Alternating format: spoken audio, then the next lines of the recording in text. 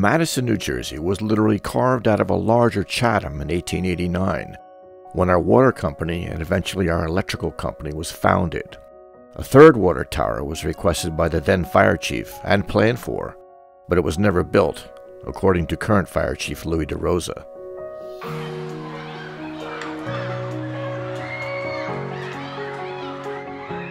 And Madison has been making structural changes ever since.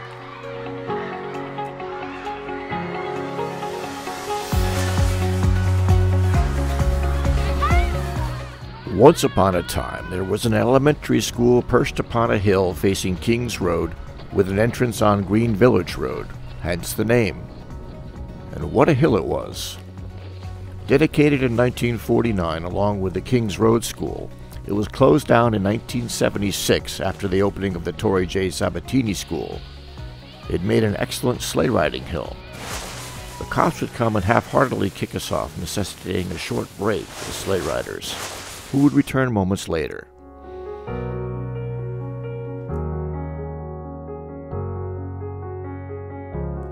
The five acre, $50 million project was spearheaded by the Kushner Real Estate Group, whose proposal included 100 luxury rentals, and the Mark Built Homes Company, whose proposal included 35 high end condos. In what was touted as a win win situation for the Board of Education and the borough, the development will become the borough's second highest taxpayer, according to Rosenet.org, Green Village Road redevelopment.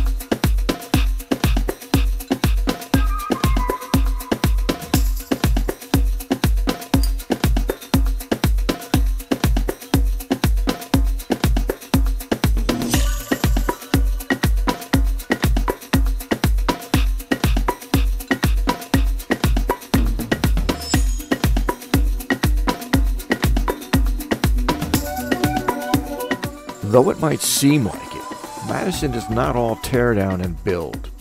Nature and beauty abound in Madison and in its nearby neighbors. You just have to know where to look.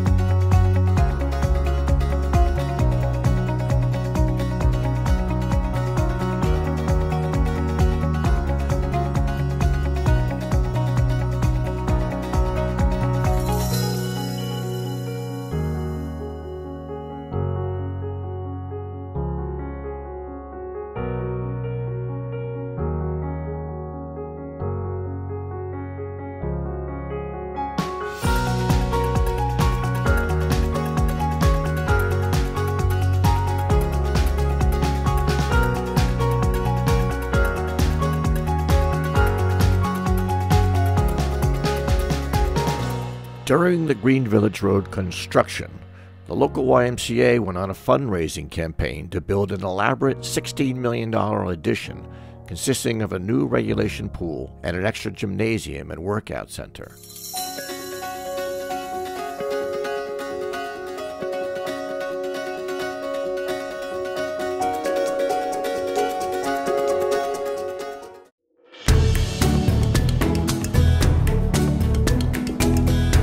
The William Blanchard Company was chosen to do the construction.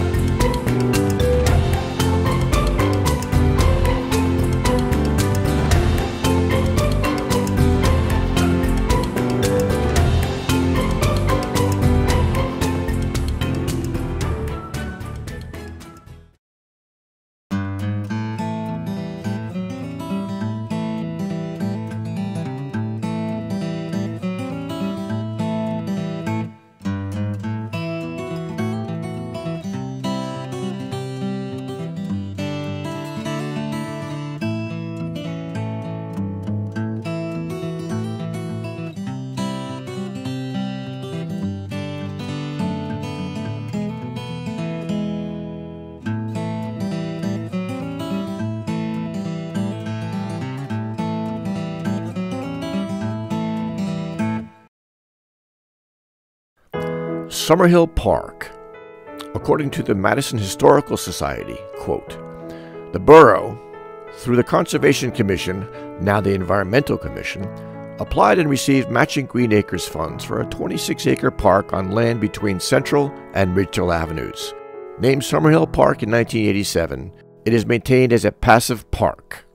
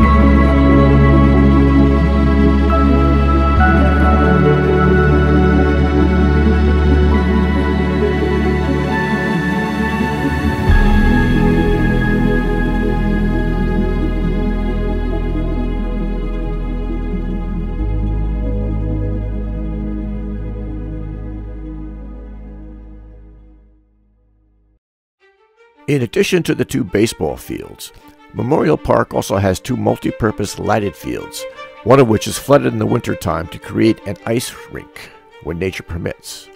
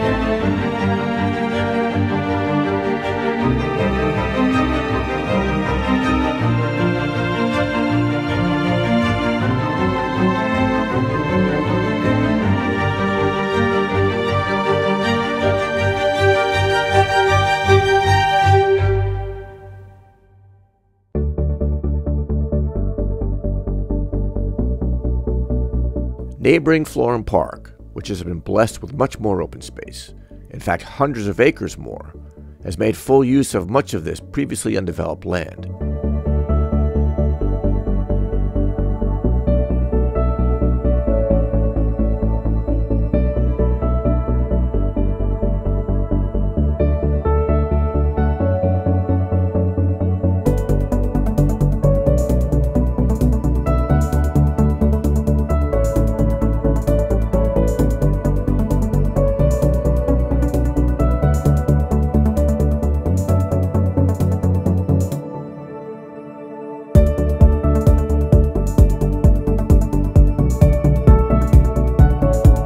Along Park Avenue is the Summit Medical Building, built by the Rockefeller Group and finished in June of 2015, and its neighbor, the North American headquarters of BASF.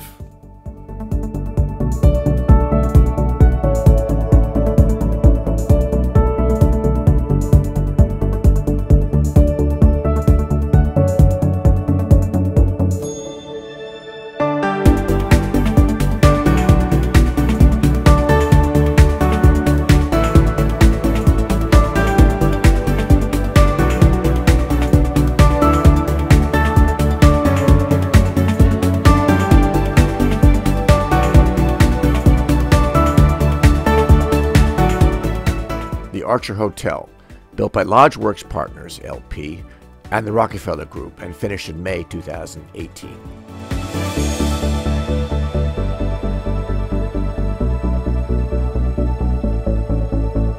Monroe Dunaway Anderson, who lived from 1873 to 1939, was a Tennessee banker and cotton trader who later moved to Texas and built a foundation. In 1941, the Texas Cancer Center in Houston was built from the funds of that foundation. The cancer centers have been growing and spreading out ever since.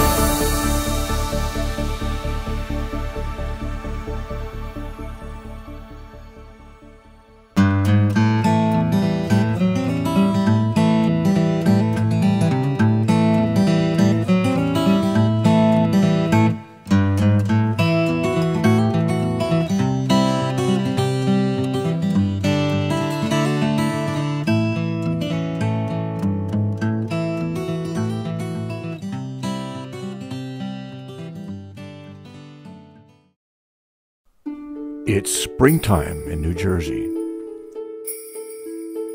All over the northern part of the state, the pond ice finally recedes.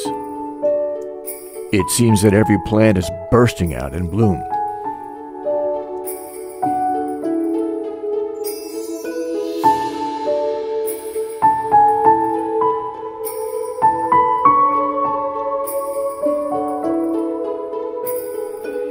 Prom parties and graduations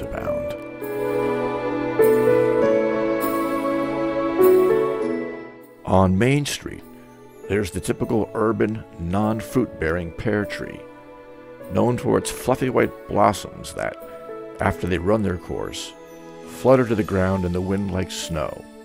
They're even more impressive in numbers. This is a wild grove of pear trees behind the Summit Medical Building in neighboring Florham Park. And therein lies the problem with these trees. They're incredibly invasive.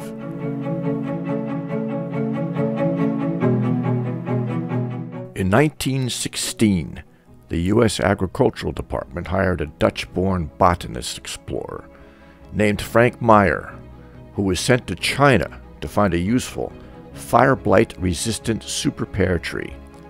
Fire blight was a disease that threatened the fruit bearing pear trees in the U.S. Meyer sent dozens of Chinese seedlings back to the U.S. to be grafted onto native European pear trees that later turned out to be dangerously invasive. Meyer's base of operation? Wuhan, China.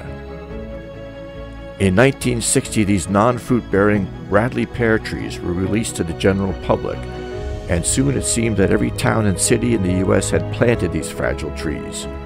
Birds soon consumed the tree berries and spread them far and wide, and this is the result.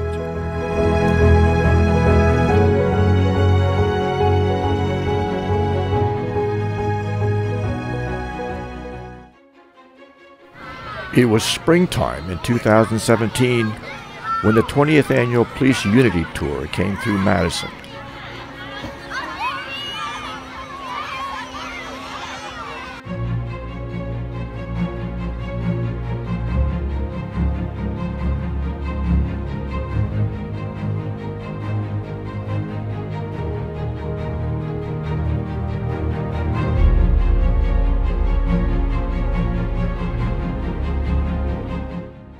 Tour was founded in nearby Florham Park by then Florham Park Police Chief Patrick Montuore, now retired, in 1997.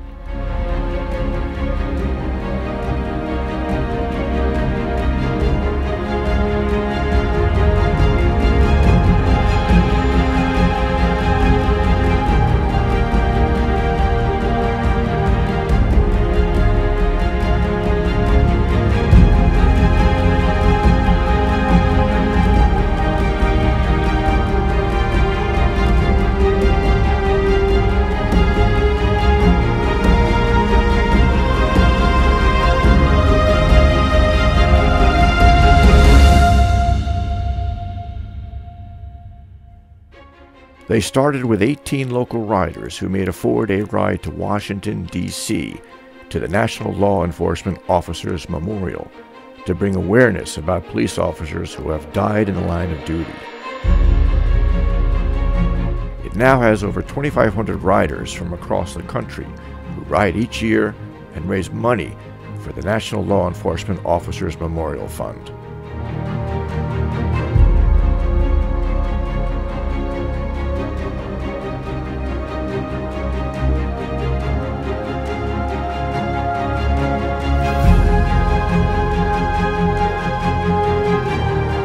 So far, they have raised over $30 million.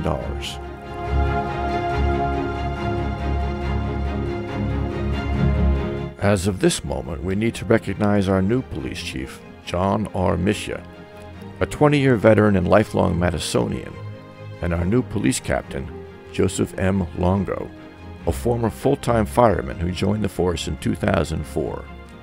Congratulations, gentlemen, and good luck.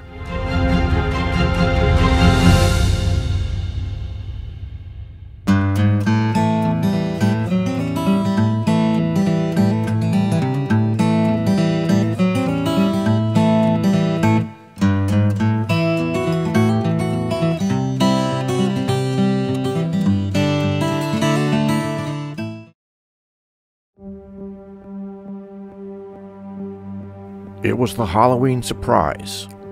On November 1st, 2019, just hours after parents collected their trick or treaters and blew out their jack o' lanterns, an enhanced Fujita 1 twister with up to 100 mile per hour winds touched down in Harding Township along Pleasantville Road at about 12:23 a.m.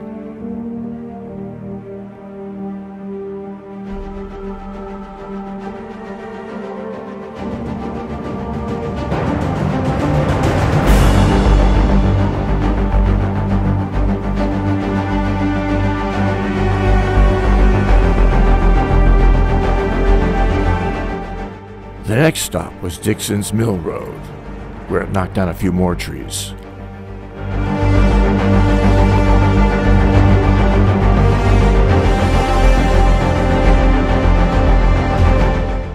The next stop was the entry path to the Loantaka Brook Reservation.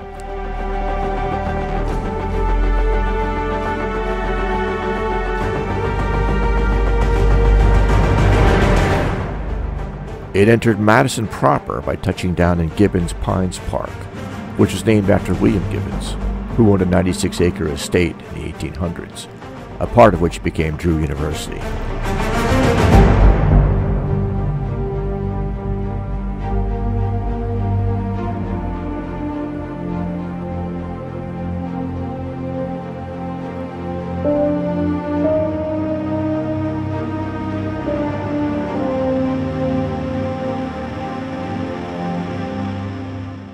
And then a few seconds later it touched down in the forest at current day Drew University, where several trees landed on and damaged parked cars.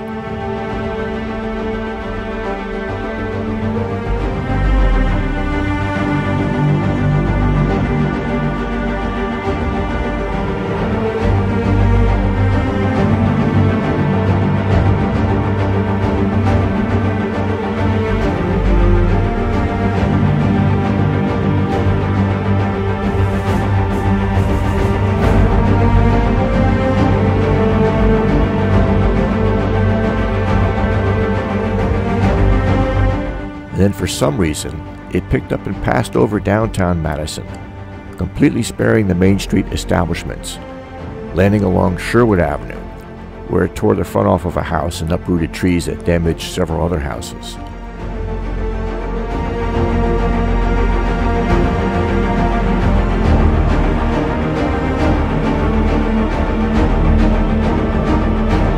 The last touchdown in Madison occurred at 12:28 a.m. on Rosedale, before it crossed Route 24 and ventured into Florham Park. Personally, I was awake and in the second story bedroom of my house, which is only a few hundred yards from the twister's path. I knew something was up after I heard that roaring noise. To me, that traditional freight train noise was diminished by distance. I shined a flashlight out the window.